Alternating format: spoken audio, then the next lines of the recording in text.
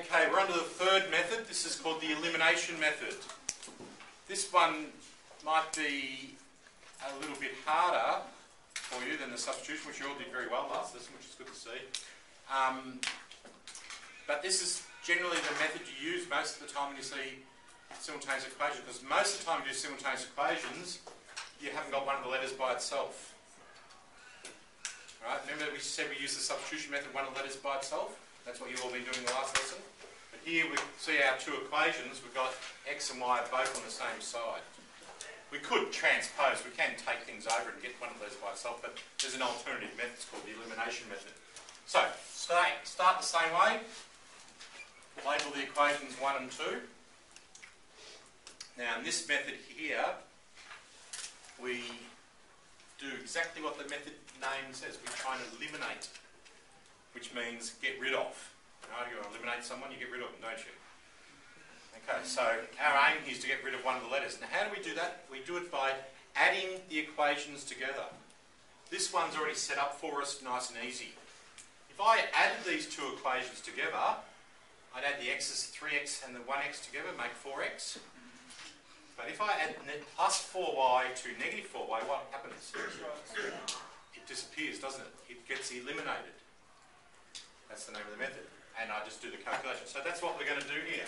So what we normally do, if, if you can do a straight elimination like we can here, you draw a line, and over the side here you say what you do. I'm going to get equation 1, and I'm going to add it to equation 2. It helps in this method that you line up your x's, line up your y's, line up your equal sign, line up your numbers. Oh, right, so if you're very neat, it's very easy to see what you're doing. If, you, if your equations are all over the place, it doesn't help. So try and line up things is the secret here. The equal sign is going to stay in the same spot.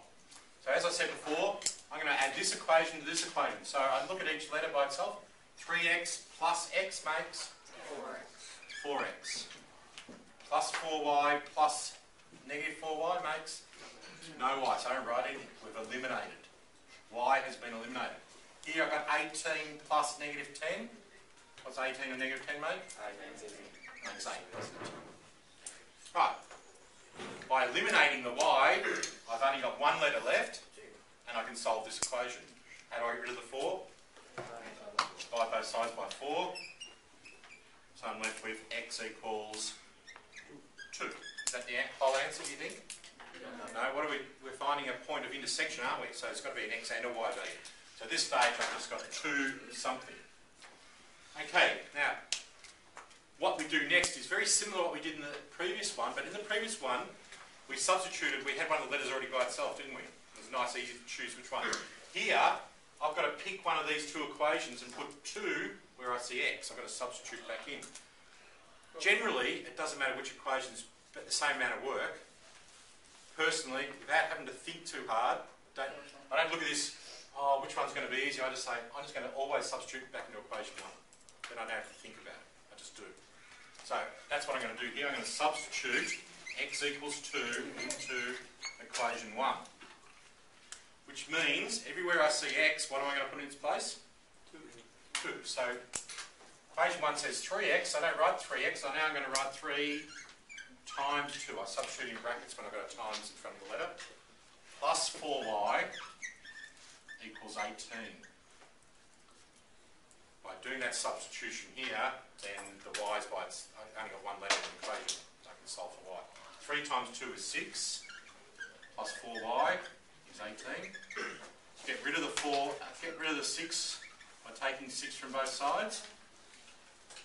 And then if I get rid of the 4 by dividing both sides by 4, I get y is equal to 3. So the solution to this problem here, where do these two straight lines cross? They cross at the point 2, 3. That's what I call a nice easy elimination problem because at the start of the problem we had the same number in front of the y's and different signs. Doesn't always come out that easy to. So let's look at this second example. No, that's not in the book. I'm going to do this one now.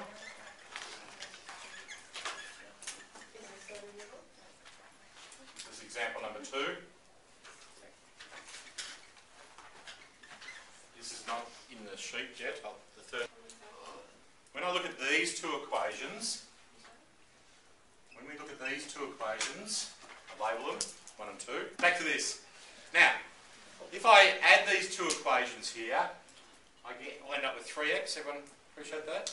And I'll end up with 2y. What haven't I done if I add these two equations? I haven't, I haven't eliminated. So adding them straight away is not going to work here. So what we do is we do a little trick. We change one of the equations by multiplying. Now, best thing to decide, in this case here, I'm going to get rid of the x's. I'm going to eliminate. So to eliminate the x's, what does this x have to become? What number would have to be in front of this? Negative 2? Alright, so what we do is we change that whole equation by multiplying by negative 2. So this is going to become negative 2x. Negative 2 times negative 3 makes plus 6y. Negative 2 times 7 is negative 14.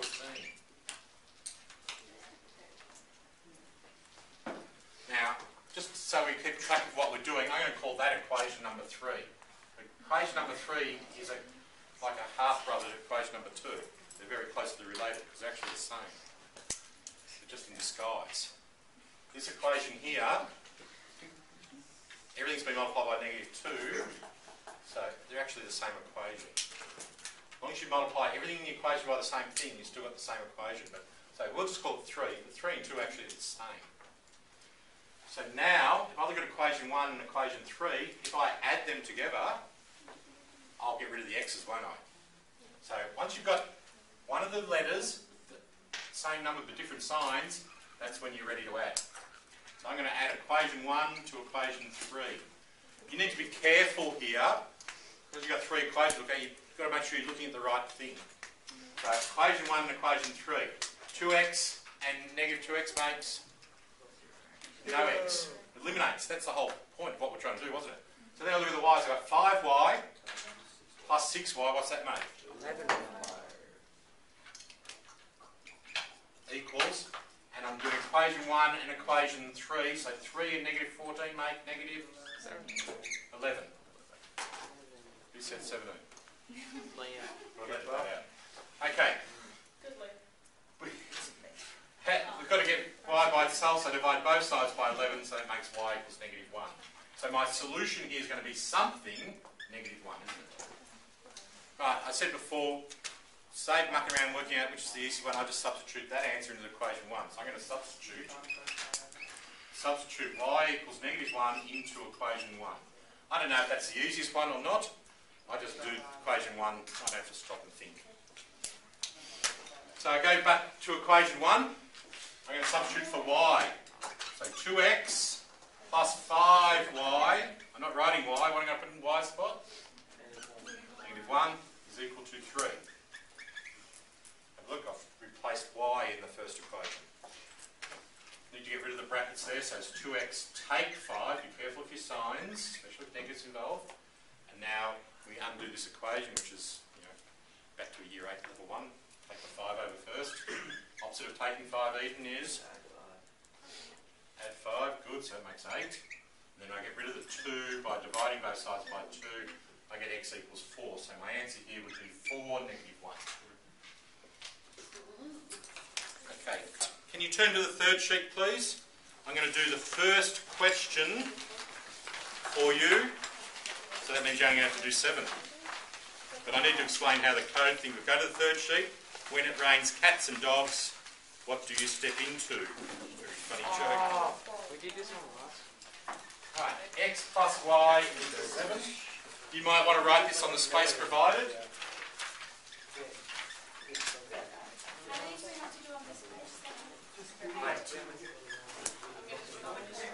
I do in each case, first thing I do is label the two equations. This is um, question one. Yes, this is question one. Can you see that?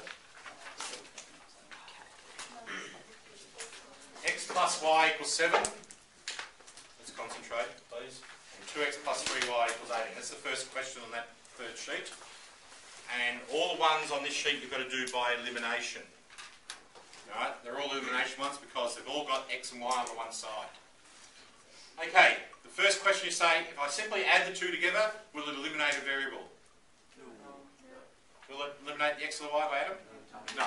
So, I need to decide which letter I want to get rid of. X. In this case, you've got two choices. You always x or y.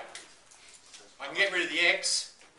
If I add these two together, but what would this, it wouldn't be x, it'd have to become negative 2x. So I need to multiply this whole equation by negative 2. There was an alternative. What was the alternative I could have done? I could have multiplied by negative 3 and then I could have eliminated the y's. It Doesn't matter which one you eliminate. Everyone understand that? So I'm going to write out what that becomes underneath here.